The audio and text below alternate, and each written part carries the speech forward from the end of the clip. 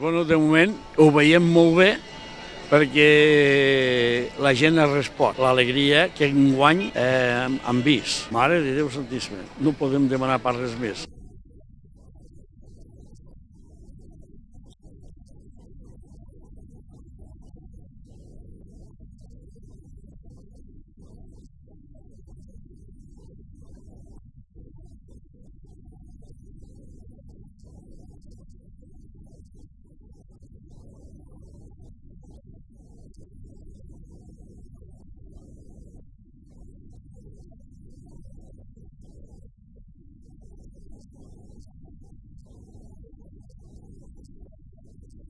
Ha fet fira?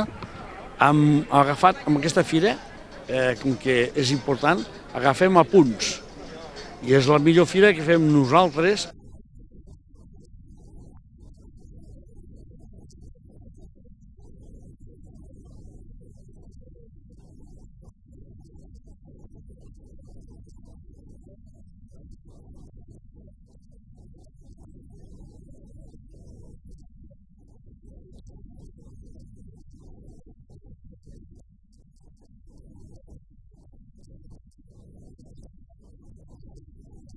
Quants anys porta aquí a la fira? 45, 50.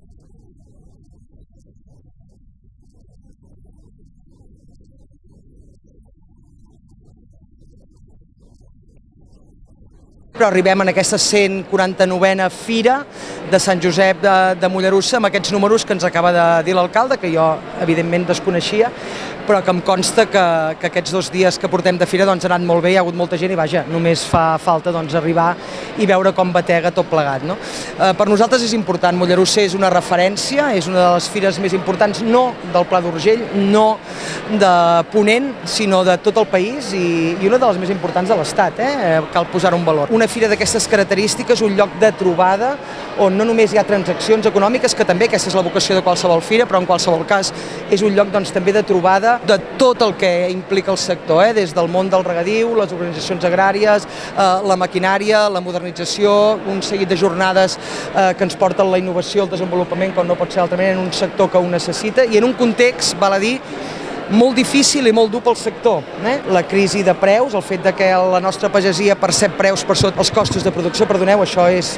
extremadament eh, greu i imperdonable, si em permeteu, no només això, sinó el cost de l'energia, evidentment també doncs, el cost del combustible i, òbviament, doncs, tot el que representa ara aquesta incertesa eh, que toca molt el sector ramader, però que, en definitiva, tindrà eh, conseqüències eh, eh, en tot el propi sector. I crec que és una oportunitat pel sector i sobretot per la ciutadania de casa nostra que se n'adoni que és important quan parlem de sobirania alimentària, del què vol dir la sobirania alimentària. Eh?